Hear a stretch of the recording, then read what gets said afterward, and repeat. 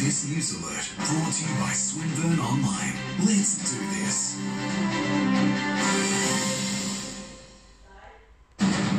Good evening. Thousands of people are in lockdown on a cruise ship off Japan due to a coronavirus outbreak, with two Australians among 10 passengers infected. A court has heard a person of interest in the William Tyrrell case was told not to visit the boy's grandmother and had stalked a local worker. Passengers have been left stranded in a terrifying blackout for almost an hour on Sydney's new metro. The CSIRO has revealed the trick to losing three times more weight by using digital diet tools. And a major mission is underway to ensure native animals impacted by the devastating bushfires don't go hungry.